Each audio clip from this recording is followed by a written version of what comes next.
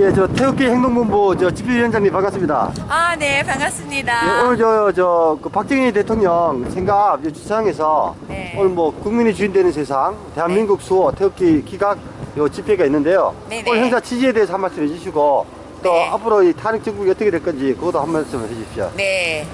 지금, 어, 특검에서 진행하고 있는, 어, 어, 제가 앞으로의 그 결과를 생각한다면 탄핵 기각이 반드시 된다고 생각을 합니다. 그러나 이것을 정치적으로 인용을 한다라면은 퀴즈 마크가 들어갈 수도 있겠죠. 그래서 지금 전국에서 어, 태극기 물결이 지금 5천만 국민의 5천만 전체가 다 나와주면 더 좋겠지만 70%가 우리 대한민국의 미래를 위해서 어, 모두가 태극기 어, 손에 들고 우리가 태극기 집회에 참석을 해야 된다고 생각을 합니다. 그래서 저는 어, 제가 서울에서 대한문에서 10차까지 어, MC를 받습니다. 그러면서 정말 많은 우리 국민들이 우리 대한민국이 침몰되지 않고 정말 잘 거듭나서 정말 우리 자라는 우리 아들 딸들에게 어, 저 건강한 대한민국을 이렇게 만들어 줄 것을 요망하고 희망하고 소망하는 마음으로 모두가 우리가 서울에서 모였습니다. 그래서 서울로 또 시간이 없어서 못 오시는 분들을 위해서 제가 부산, 대구, 울산 오늘이 이 대통령 구미 생가입니다.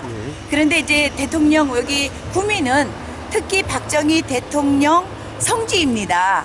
그래서 더 뜻깊은 날이고 오늘은 또 정월 대보름입니다. 그래서 지난번에 어 제가 구미 생가를 왔다 가고 나서 여기가 왔다 가고 난 그 다음 날 어, 구미 생가가 어, 불이 탔습니다.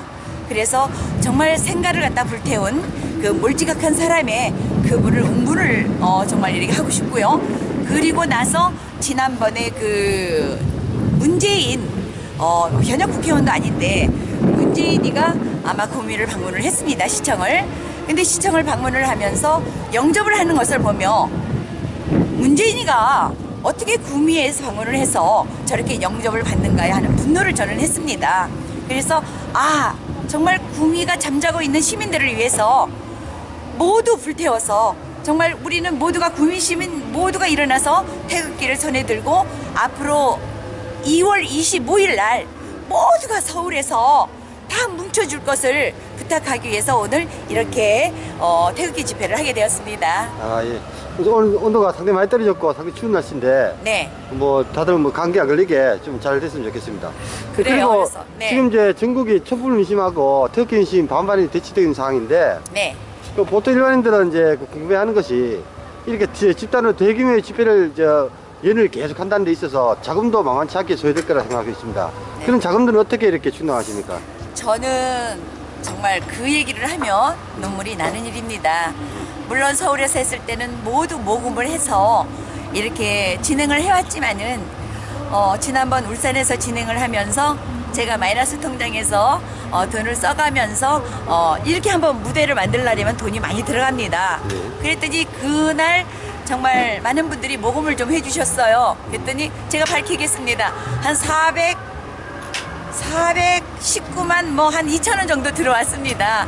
그래서 턱없이 모자르죠. 그래서 어 그렇게 이제 십시 일반으로 뭐 만 원, 이만 원, 오백 원 이렇게 또 태극기 집회에 오셔서 응원해 주신 분들이 정말 이렇게 어 좀 도움을 주시고 있고요.